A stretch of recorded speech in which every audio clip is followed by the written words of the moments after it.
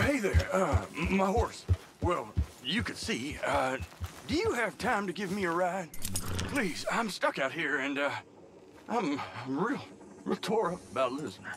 You'd be doing me a great favor.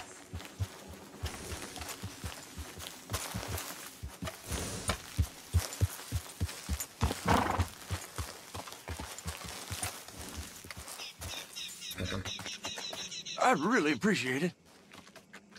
You will? See? I knew you had a kind face. okay, so I killed that horse myself.